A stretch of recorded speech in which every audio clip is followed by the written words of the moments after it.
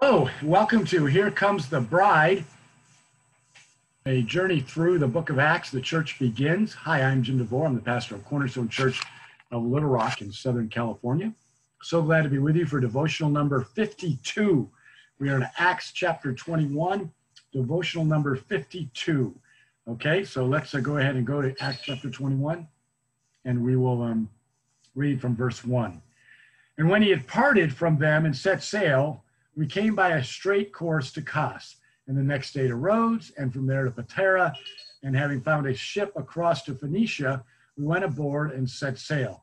We, when we had come in sight of Cyprus and leaving it on the left, we sailed to Syria and landed at Tyre, for there the ship was to unload its cargo. Okay, let me let me just wrap up this journey with a look for you at um, some of these places so you have an idea. This is the end of the third missionary journey, and so um, we want to be able to uh, get to it. What happened to, I'll hold that thought. Here is the one we are looking for. Let's get that going. Hello there. Okay. And let's go ahead and take a look at this. All righty. So the circles represent where Paul was. On the far left, he got as far as Corinth and then the big circle is kind of where he, um, remember he was actually in Miletus when he said goodbye to the people in the church of Ephesus. That's all chapter 20. So now he is right here and he's going to basically, if you watch, he's just going to, as he names all these places, that's where he's going. So um, they, they went on course to Kos and then from Kos, there's Kos there, right there. They went down to, uh, to Rhodes and then to Patara. So they're just kind of bouncing around to these areas. There's Rhodes, there's Patara. They're going from seaport to seaport. By the time you get to Patara, then he's going to do this straight cross, okay? They found a ship um, crossing to Phoenicia. Okay, Phoenicia's down here, this area. So they took that ship and they set sail. And when they had arrived, okay, and I love how he says, um, when we had come in sight of Cyprus, leaving it on the left. So here's Cyprus, so they came, they were inside of it, but they didn't stay there. It was on their left. Okay, so they're coming this way. And uh, then it says they arrived and landed at Tyre, at Tyre, okay? And so they land, landed at Tyre where the ship was to unload. Okay, so now you just want to notice a couple other places. Okay, here's Tyre, here's Jerusalem, okay? So just be aware of those, and up here is Antioch, okay? All righty, good deal. All right, so let's keep those in mind. And um, Okay, so now that you kind of got that in your mind, let's go ahead and just get back to the actual text here. So we're in verse 4 now of 21. Having sought out the disciples, we stayed there for seven days, and through the Spirit, they were telling Paul not to go on to Jerusalem. Now, it's kind of interesting. Um, so, because Paul, the Spirit's been telling Paul to go to Jerusalem, and yet Scripture here says through the Spirit they were telling him not. Don't be confused with that. Some type of the Spirit can't make up his mind. They're, they're saying they are generally imploring him seeking God, asking the Holy Spirit, trying to keep Paul from going to Jerusalem because they're afraid he's going to be arrested. Okay. When our seven days, verse five, were ended, we departed and went on our journey, and they all, with wives and children, accompanying us until we were outside the city. And kneeling down on the bench, we prayed and said farewell to one another. Then we went on board the ship, and they returned home. When we had finished the voyage from Tyre, we arrived at Ptolemais, and we greeted the brothers and stayed with them for one day.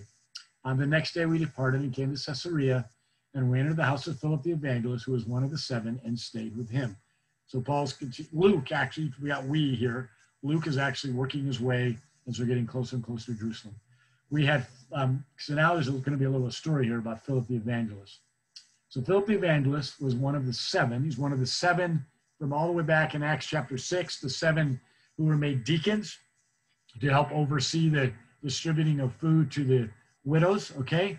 Alrighty, so he's an evangelist. Not only did he end up serving in that way, but he served the Lord by sharing the gospel with people, okay? He had four unmarried daughters who prophesied. While we were staying for many days, a prophet named Agabus came down from Judea. Again, Judea is actually south of them, but the, the down idea is anything that leaves Jerusalem, Israel, you're coming down to your next place, okay? While we were staying for many days, a prophet named Agabus came down from Judea. And coming to us, he took Paul's belt and bound his own feet and hands and said, Thus says the Holy Spirit, this is how the Jews at Jerusalem will bind the man who owns this belt and deliver him into the hands of the Gentiles. Again, Paul's been expecting this, so it's almost confirmed now by this prophet that you're going to be bound hand and foot by the Jews once you arrive in Jerusalem. Then Paul answered, What are you doing? Um, oh, let me back up here, verse 12. When we heard this, we and the people there urged him not to go up to Jerusalem. Then Paul answered, What are you doing, weeping and breaking my heart? For am I ready not only to be imprisoned, but even to die in Jerusalem for the name of the Lord Jesus? And since he would not be persuaded, we ceased and said, Let the will of the Lord be done. Let's just pause there for a moment and just kind of take in that statement, okay? They're all crying. They don't want to see Paul hurt or injured or killed, imprisoned, whatever. They're crying for him, afraid for him of what he's facing. Paul's comment is, Why, What are you doing, weeping and breaking my heart? Your tears are causing me great pain. For I am ready not only to be imprisoned, but even to die in Jerusalem for the name of the Lord Jesus. Paul said, Look, you're breaking my heart, but I am ready. I am ready to face whatever the Lord would have for me. So if I get imprisoned, I get imprisoned. If I get if I get killed, I get killed. But here's the key. It's not imprisonment for imprisonment's sake, and it's not death for death's sake. What is the purpose of it? The purpose of it is what? Let's look here. For the name of the Lord Jesus. So Paul's not going to go down and stir up trouble just so he gets arrested and killed. It's not his goal. He's not trying to just get himself killed so he get himself killed. Okay? He's not trying to make himself a martyr because it'd be really cool to be a martyr for Jesus. Saying, I will do whatever I can do in order to bring honor to the name of the Lord Jesus. So if that means I'm going to be imprisoned, then I'll be imprisoned. That means I'm going to be killed, then I will be killed. We learned so much here, okay? It's not about making um, an impact for the sake of making impact. It's about honoring the name of the Lord Jesus Christ. I mean, Paul has left cities to honor the name of the Lord Jesus Christ. He's run from persecution to honor the name of the Lord Jesus Christ. But in all those times, he sensed that God was calling him to Jerusalem, probably for the sake of his own death and his own imprisonment. But he knows that process is part of the process of honoring the name of the Lord Jesus Christ. Take a look at verse 15. After these days, we got ready and went up to Jerusalem. Some of the disciples from Caesarea went with us, bringing us to the house of Mnason of Cyprus, an early disciple with whom we should lodge. So they're going to resolutely go forward and do what God wants him to do. Verse 14 is kind of the reminder of that, okay? Once Paul says, I'm ready to do what God's called me to do, then they have to get in line too, not because of Paul, but because of the Lord. And since he would not be persuaded, we ceased and said, Let us let the will of the Lord be done. So much to learn from there. So much to learn. Remember when we study the book of Acts, we ask three questions. What do we learn about the eternal plan of God? Question one. Question two, what do we learn about the eternal plan of God as he's working through the church? And what do we learn about the eternal plan of God in individuals? And this question is an answer for all three of us. Okay? Verse 14. What do you learn about the eternal plan of God is that the plan of God will be accomplished. And so it is our job to fall in line with the plan of God and not to fight against it, even if it means pain and agony, even for ourselves or for our loved ones. Okay? All right? What does it mean for the church? It means that the church needs to be willing to give up its leaders when its leaders are following the will of the Lord. Okay? Whether that's to death or to persecution or to something else, and not get in the way of that.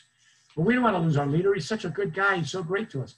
If that leader is convinced that he's following the will of the Lord, then get out of his way and let him move on and lead. In your life, you should be asking this question. Don't move from where you're at for any reason except for the will of the Lord.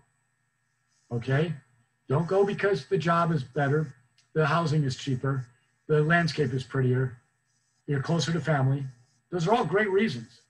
Go because it's the will of the Lord. And if you are going, then one of the ways you're going to know it's the will of the Lord is by checking out the churches and places that you're going to and asking yourself, will I grow closer to the Lord? Will I be, grow more spiritually, even if it's going to be rougher and more difficult? Is this an opportunity for me to know that I'm sincerely following the will of the Lord? If you're convinced of that, and maybe it is the will of the Lord for you to, to go and be a blessing to your family and be near them. It is the will of the Lord for you to go and serve your job. And ultimately, no matter where you go, You need to continue to seek the will of the Lord. And if you're staying, you need to know that you're staying for the will of the Lord. Paul, back and forth, back and forth through the first missionary journey, second missionary journey, third missionary journey, followed the will of the Lord. Sometimes that meant stay and get persecuted, uh, return and get persecuted, or leave and get out of there so you don't keep getting persecuted. The key is let the will of the Lord be done and let us follow it as we go. Okay, that is Acts chapter 21, all the way down to verse 16. We will pick up verse 17 next time when we return to Here comes the bride, let the church begin.